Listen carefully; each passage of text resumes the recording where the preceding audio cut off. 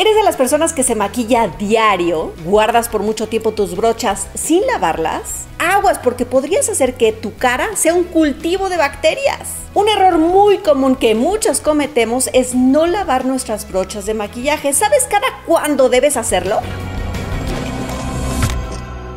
La correcta higiene de estos utensilios puede alargar su vida y también prevenir acné e infecciones en la cara. Estas brochas acumulan residuos de maquillaje, suciedad, polvo y sobre todo aceites que hacen que sea un ambiente idóneo para las bacterias y que esas obstruyen nuestros poros. Si las lavas, los cepillos van a estar más suaves y te van a durar. También vas a evitar que se oxiden los cosméticos, pero cada cuando debes limpiarla. Los expertos en maquillaje recomiendan cada 7 a 10 días las laves muy bien con agua tibia y jabón neutro y las dejes secar al aire libre. Tienes que volver a darle la forma de la brocha y jamás guardar tus pinceles en los estuches porque se quedan humedecidos y también producirían bacterias.